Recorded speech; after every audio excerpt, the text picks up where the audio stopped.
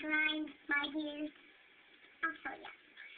When parents are like, well, first when you're like, hey, mom, dad, uncle, aunt, legal guardian that I live with, can I in the car? And they're like, yeah, sure, just have it back by lunchtime. A lot of people realize that at a lot of different times. Like, for for instance, take me, for instance, take me, take me for instance,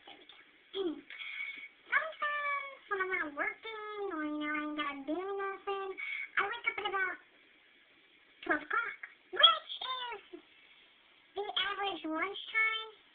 But for me, it's, it's breakfast. I wake up at about 12, have a little bacon egg, then maybe, like, say, mm, 2, have a little ham sandwich. That's my lunch. At 2, I'll have a go home by 2 for the lunchtime. So you bring me go home and they're like, I told you guys got home by lunchtime. And I'm like, um, I just had a ham sandwich with cheese, cream and onion, diet Mountain Dew on the side. It is lunchtime for me. And then you're happy because you had to call home too late. Let me tell you what a solve is. First of all, Karen, be a little more specific with the time.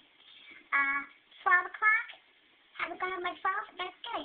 Second of all, buy your kid a car. I mean, wow, they're responsible. They do their work. They get money. You know, I think that, personally, you can handle a car. I can handle a car. Okay, not everybody can handle a car.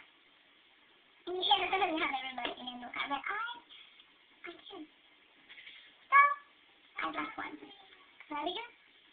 Feel that?